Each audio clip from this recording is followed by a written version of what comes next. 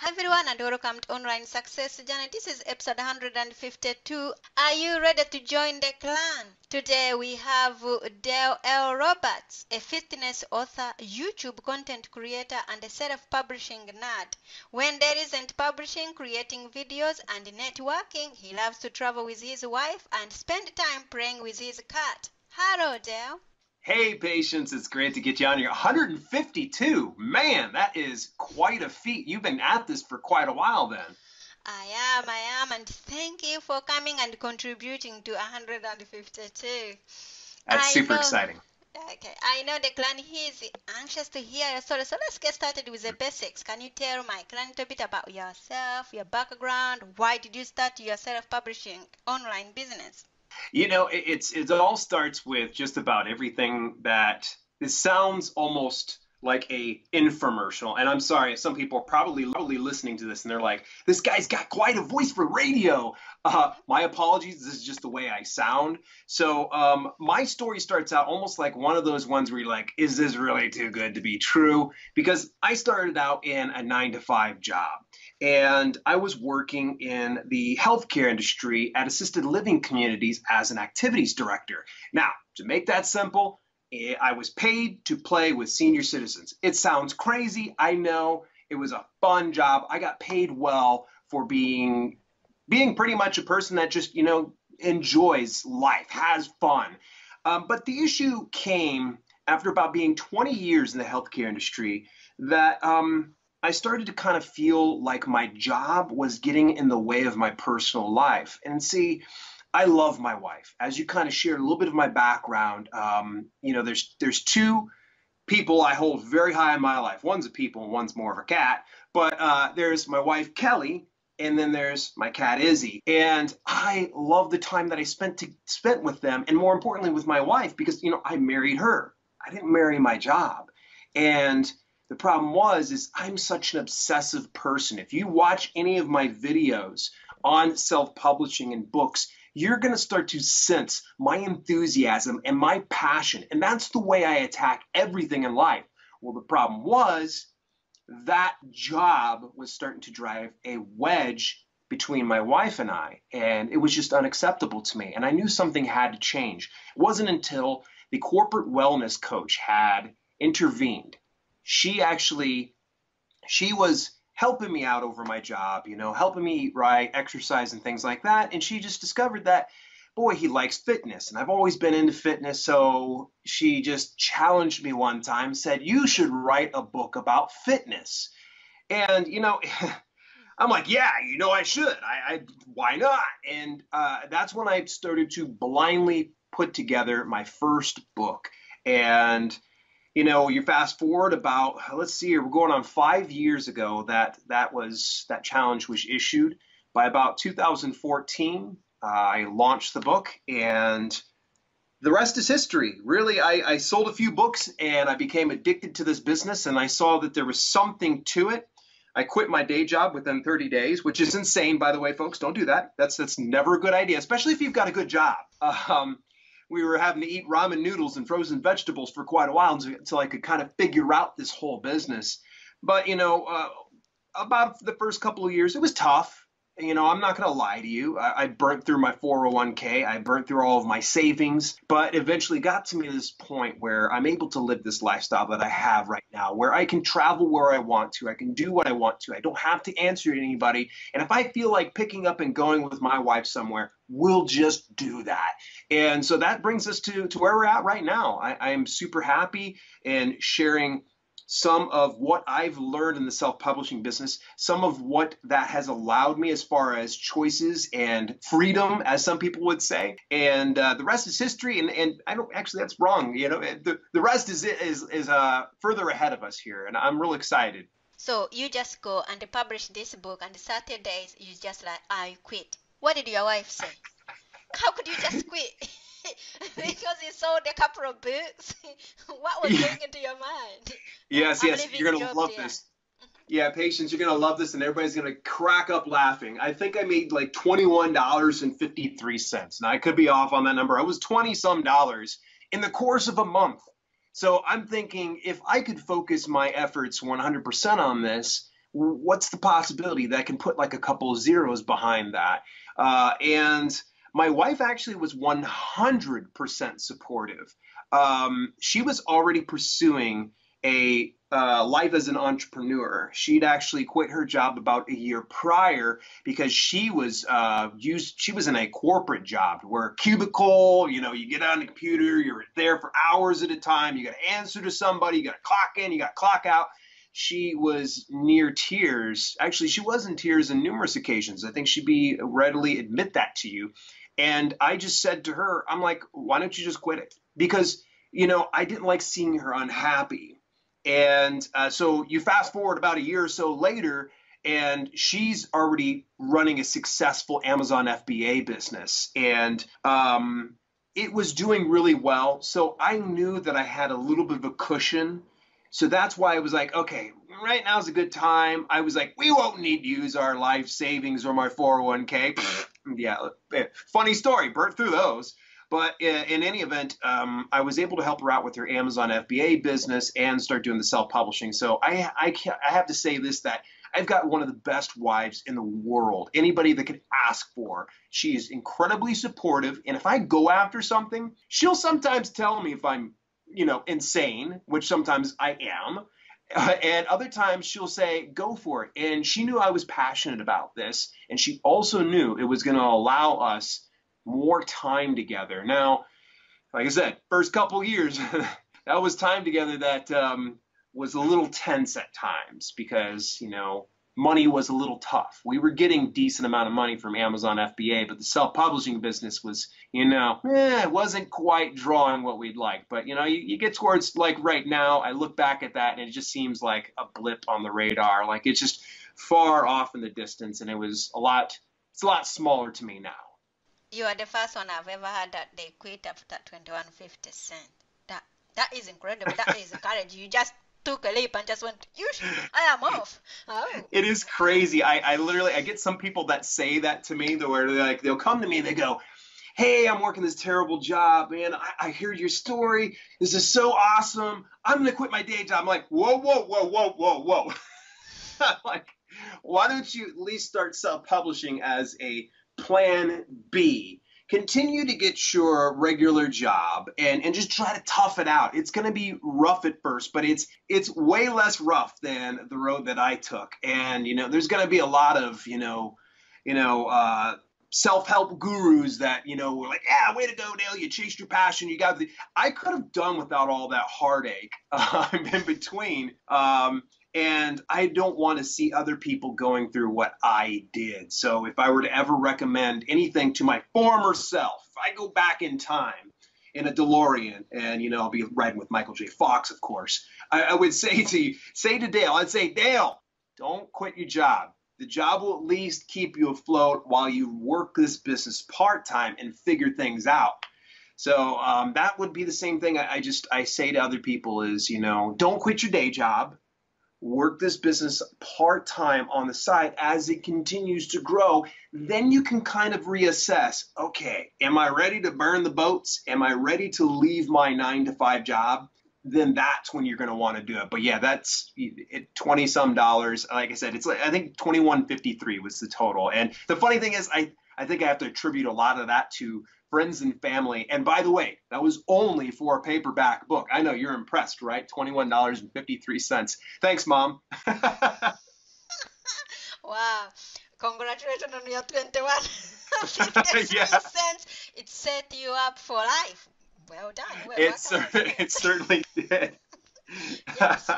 What a journey what what roller coaster anyway but anyway you pass through it. Okay. So what is the dangerous belief an online entrepreneur can have? What is a dangerous belief? Oh man. There's there's so many mistakes i see a lot of online entrepreneurs because i don't just i'm not just inside the self-publishing community with indie publishers and indie authors. I'm also in video content creation as a YouTuber, as some people would say, or uh, I'm on the Twitch platform, a Twitcher.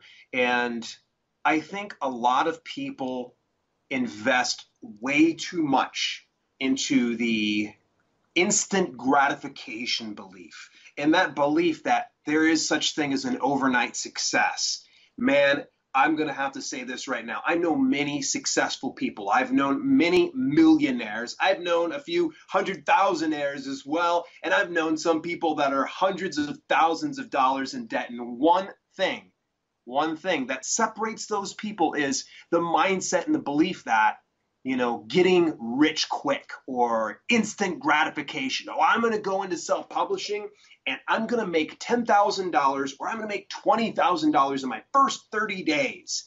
Uh, I've got a reality shock for you. Um, the instances that you see, the overnight successes, okay? One, take it with a grain of salt. The very few people that came into, say, a certain business, some type of online entrepreneurship, we're going to use self publishing as an example.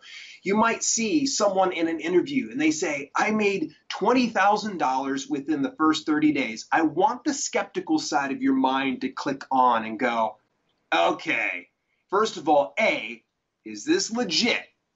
That should always be the first thing you should say. Is this legit? And B, those occasions, okay, there are those people that I call quote unquote unicorns. There, there are those very rare instances where they captured lightning in a bottle. Unfortunately, a lot of people think they're the next unicorn. Oh, when I saw their video, I'm going to be able to do it exactly like them. Or I bought their course, I'm going to do it exactly like them. Or I watched this video and he said if I follow these steps, I'm going to get $30,000 in the next two days. I, I hate to tell you, there's no magic formula, there's no magic bullet. There's nothing that can trump what's called good old fashioned hard work. It takes a lot of hard work and a lot of hustling. And yes, you do have to study. Yes, you've got to do a lot of trial and error, tons of it. You're going to get more failures and then you're going to get successes.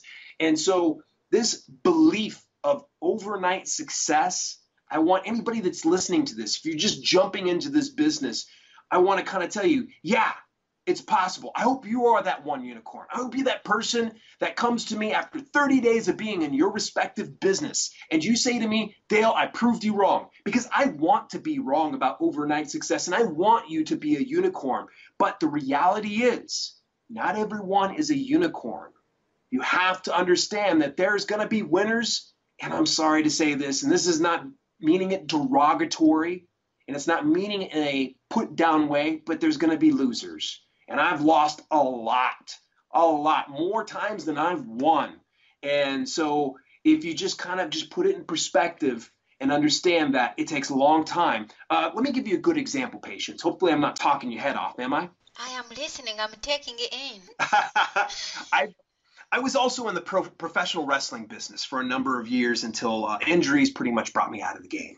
I've got a really good friend and his name is Dave Crist. He actually is part of Impact Wrestling right now. I'm just going to drop that name. We're going to drop that name right there. Uh, some people are like, ah, professional wrestling, whatever. Just, just, just follow, follow me through here now.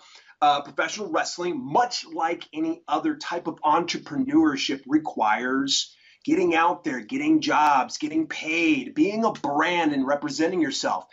Dave started right about the same time that I did in professional wrestling, right around 2002. It wasn't until about the last few years that he finally got traction. Mind you, he had to do a lot of working. He had to go travel to Germany, to Japan, Canada, Mexico, all over the United States before finally he was being recognized as a person within his walk of life. It took him all the way from 2002 to 2018, where we're here right now, 16 years for him to finally get recognized as one of the best professional wrestlers on the independent circuit as well as international wrestling altogether. So, can you imagine that? Having to sacrifice your body for your business? Now, think about this as an online entrepreneur. Think about this.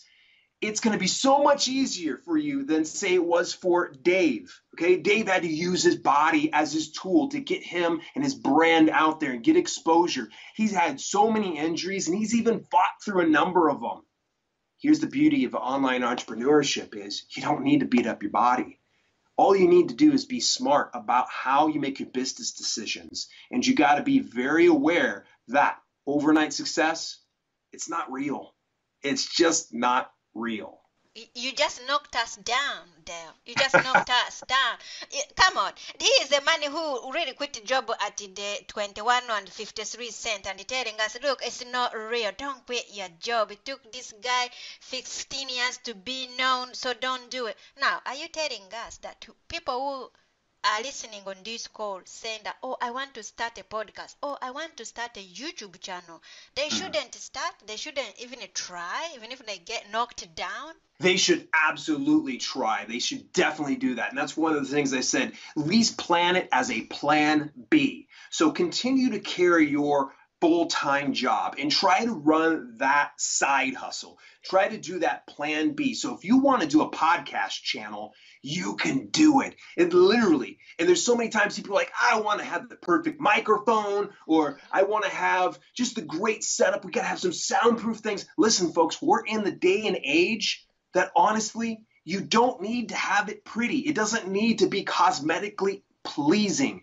You just need to take the first step forward and make mistakes. I encourage you to do that. YouTube, when I started out two years ago, uh, the first, I would say, 90 days, I just kept pumping out one after the other, one video after the other.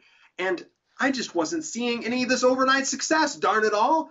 Um, but I continued to try to press forward and really tried to do that. Mind you, the YouTube thing was kind of a plan B while I was doing self publishing books. Thankfully, both plan A and plan B are pretty much on course right now, but I encourage you, you know, no, you definitely need to go after it. If you've got something within your heart you're passionate about, you say, I want to do a YouTube channel. I want to do a Twitch channel. I want a podcast and I want to put it over on iTunes. Do it because you got only one life to live and you might as well live it to the maximum. This might require a lot more effort than what you have to normally do if you're carrying a full time job. So I gave you a good example here in this last one of overnight success. Let me give you another one here. My brother, actually, big brother, a few years older than me, he actually runs a pretty successful Twitch channel over twitch.tv. And uh, he makes a you know nice little plan B income from that. He gets a little bit extra scratch from goofing off, playing games, getting people to come in there and building his sense of community and his brand. And the funny thing is, not too many people realize that he has to actually put on a uniform, go to his day job day after day, and he's got to, it's very physical job. It's a very physical job. He gets exhausted. And so there are times when he gets home and he's like, I just only feel like sleeping. But then he remembers oh yeah, I want to do this. And he'll go in and at least, at least show up for an hour to two hours doing his games. And you know, the funny thing is, he tells me, you know, even though he didn't feel like it, after he's done his plan B work, he says he feels better. He feels fulfilled. And that's the important thing. And sure, he's not quit his full time job, but at least he's set up his plan B. And the nice thing is, over the past year, I've seen his brand grow and I've seen his income improve.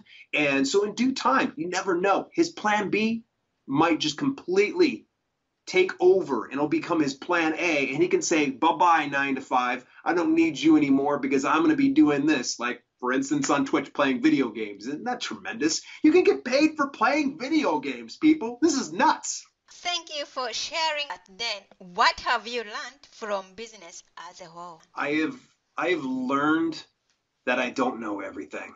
I, I I've learned that, you know, when I came into this, I felt and you know, when you get a $21 check, you feel like I know everything.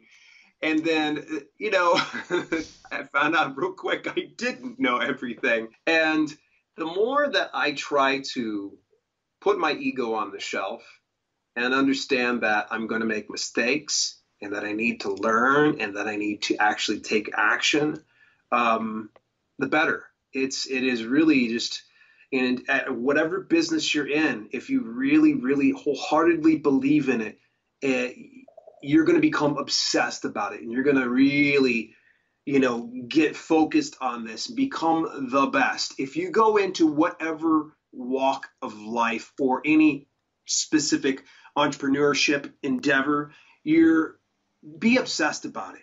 I want you to be super passionate about it. Be number one. That's what I'm trying to always do. And even if someone comes up and says, Dale, you made number one person on the YouTube and self publishing books, I still won't believe it because I always believe I want to be better today than what I was yesterday, but then tomorrow, even better than I am today. Dale, do you have a mentor or a coach, or you know everything? a mentor and a coach is definitely always a good thing. Right now, I hate to say this, I'm in between mentors. Um, I'd, I'd, actually worked with a mentor for about the better part of about a year to a year and a half who helped me in the self-publishing business. The gentleman's name's Jason Brock, and uh, I owe a lot of thanks to Jason for where I am at today. And he actually became one of my closest friends and uh, I get to talk to him every now and then. He and I just get connected. But a mentor and a coach is absolutely a must have. That's why I say I'm in between mentors and coaches because I know that I need to take that time with somebody else who's that one step better than I am. And that way I can always strive to become better and move forward. Um, you know, I'm always in competition with myself. And I believe that in order for you to be better, to function at a higher level. You need to have that person who's been where you want to go and who has the right tools and resources to get you from point A to point B and support you everywhere in between. What is the most valuable thing your mentor has told you? Don't do that. um, man, uh, I love this one. There's there's there's actually two. We're gonna hit one for right now, and if if I don't go too long, we can always hit that second one. The one that he taught me, this was back in 2015 when we had met up with him. My wife and I actually met up with him for a full day, and um, he looked into my KDP account, the Kindle Direct Publishing account, and at the time I had scores of books, but you know, I just wasn't seeing that reward. I wasn't seeing that great payday about then. And I was just, I was baffled. So I just said, you know, mold me. I, I'm going to show you everything behind this curtain, and I want you to just tell me what I'm doing wrong, what I'm doing right. Well, you know, he definitely was able to kind of zoom in on it. And this was where, this was this was the life changing moment for me where he said this line. He looks into my account and he sees the 90 day home workout plan and he sees the number of sales that were behind it and the number of reviews. He saw the cover and he just he looked at that and he goes, That's it right there. You got to do it. You need to go back to the well. I love that line. You need to go back to the well and keep going back to the well. It's clear that, and I paraphrase him now from this point point on here, it was clear that the 90 day home workout plan is something that your reading audience craves, they want. And you have found small success in this. Well, who's to say that if we don't find a different iteration, put that out into the market and see even better success, which he was 100% correct. I ended up putting out workout book after workout book until I finally hit something, and it was within let's see here, it was about July of 2015. It was January of 2016, literally on the 2nd of January. And my book, it was a collection of my best workouts called An Ultimate Home Workout Plan Bundle uh, it ended up becoming a number one bestseller in numerous categories over on Amazon. And um, I ended up putting it together in a case study, ended up releasing all that stuff or whatnot, and people got to see that. And uh, with this particular one, uh, it was funny. I was actually right when that happened, I looked at it and I was like, oh my gosh, back when he told me go back to the well, it had literally been just six months since he pretty much said, "Hey, you know, hang in there. It's, it's a slow burn. This is to get get where it needs to get going. You just have to have faith in the process and you know follow what I'm saying." And uh, we had a conversation, uh, you know, sometime later. It probably was not too long ago, and I and uh, I said to him, "I'm like, you know, you always kind of seem surprised when." I followed through with some of the advice that you said. He, you know, and I think it was surprising to him because he usually shot high. He usually told me, do all these things. And he was blown away when I would do every last thing he would tell me. Set up this email list. You're going to get an autoresponder set up. You're going to go ahead and you're going to release your next two books here, here, and here. And I was like, okay, done. And I just got to it and I focused on it. But yeah, the one thing that he said was go back to the well. And uh, whenever I'm working with some people with the self publishing business and we're coaching, I'll use that same exact line. you know, go back to the well. I'll look at someone's account and I'll say, that right there, that's it. Go back to the well. You got to go back to the well and keep drawing up those those winners right there because it's it's clear that you know people are buying it. Now, opposite side of the coin, the other one, and I said there's the second phrase, might as well go ahead and throw this one out there. We were, my wife and I were, it was probably late last year where we went to go visit uh, my buddy. And uh, we're spending the day with him and we are just kind of jib jabbing. And I had happened to bring up um, something about some kind of a business and video marketing. And he, he says to me, he goes, I don't know. I don't think it's worth anything. And I was like, I keep pushing it. I'm like, ah, oh, man, you know don't understand. I, I feel like, you know, he's just, he said, bro, and he always just, he always starts it out with, bro, bro, you're just stacking pennies.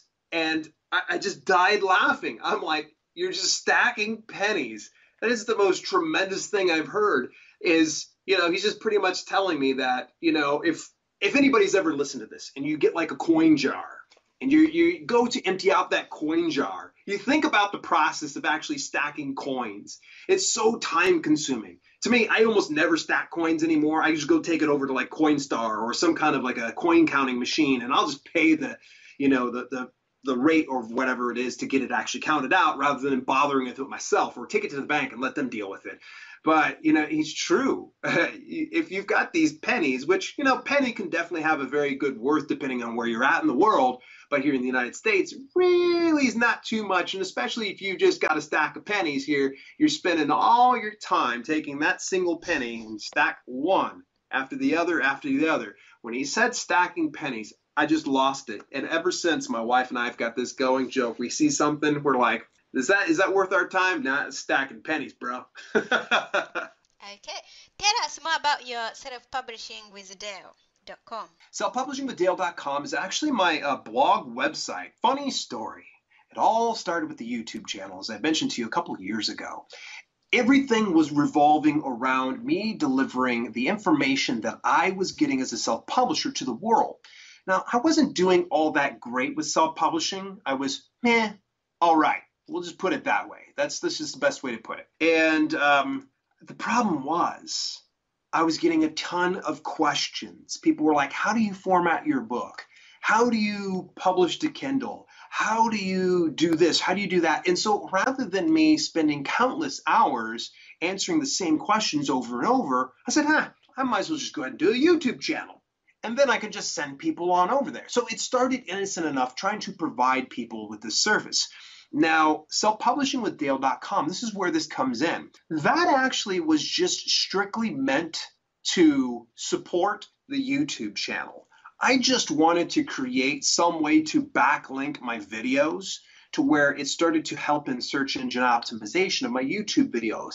Little did I know that what I created would turn into what it's, you know, getting hundreds of unique hits per day. Now that's nothing. Some people are like, bah, I get 10,000 per day hey, this ain't too bad, especially for how niche down my subject is.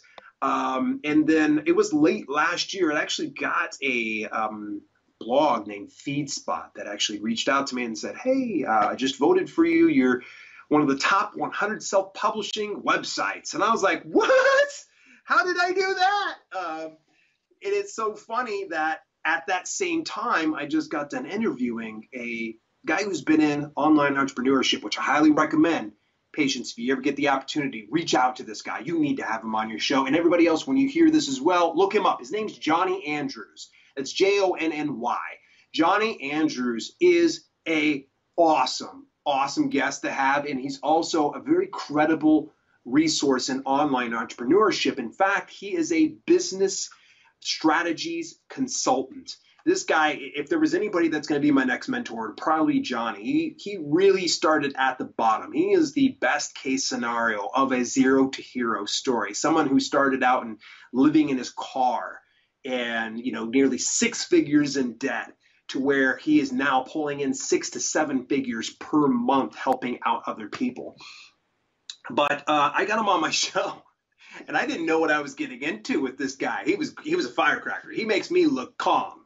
Um, and uh, Johnny got done with the interview. He loved it a lot, and he promoted the heck out of it. So what I ended up doing was before he started promoting it, I just went ahead and I took it and I did a featured segment over on my blog. I take my show notes of some of the interviews, so things that I'm reading off a script, and I'll just repurpose those into blog content and then I'll embed the video. See, no secret to this stuff here, folks. This is pretty awesome. All I'm doing is taking the same content, repurposing it over into a blog, and then people that don't want to watch a video can read the content, and vice versa. Those people that don't want to read the content, they can watch the video. So Johnny ends up sending a ton of traffic. We're talking, I'm like maybe getting six to a dozen hits per day. Like, and, and, that was a good day. There were some days no no traffic whatsoever. So all of a sudden, Johnny's sending me traffic, FeedSpot sending me traffic, and then I started getting more shares of these posts, and it was crazy. So selfpublishingwithdale.com ended up taking on a life of its own. And even now, more recently, when I had transitioned off the Patreon platform, I went and I took all of my extra video content and I actually have it hosted over on selfpublishingwithdale.com. So people that want to, you know, donate to the cause and be part of the video membership, they end up getting that. So that's another walk of online entrepreneurship we can always talk for another day. So how do we contact you? How do we get this whole self-publishing.com? Tell us how can we get in connect with you? The best way to connect with me is to definitely just head over to selfpublishingwithdale.com. There's tons of great resources there. I've got an about and contact page. You can go ahead and hit me up there. Rather than giving you guys all these different links and trying to remember these things, just remember this, selfpublishingwithdale.com.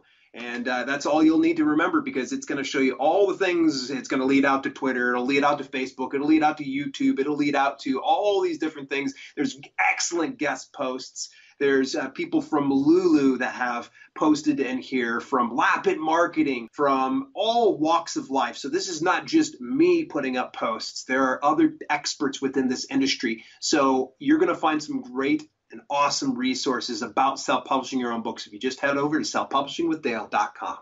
So, Clan, there will be more from there in a moment. If you are listening on one of the many podcasting platforms rather than my website and you are encouraged by Dale's journey, go to onlinesuccessjourney.com for a bonus portion of the interview. The Online Success Journey is a wonderful membership community built for people searching for the path to success. We are one big clan and you can be part of this community for free. Once you have joined the clan, click on part of Dale's journey or over a hundred other journeys that are available and learn how you can find the right path for your own online success journey. That's a wrap, clan. Remember, success is a journey. Patience and Dale.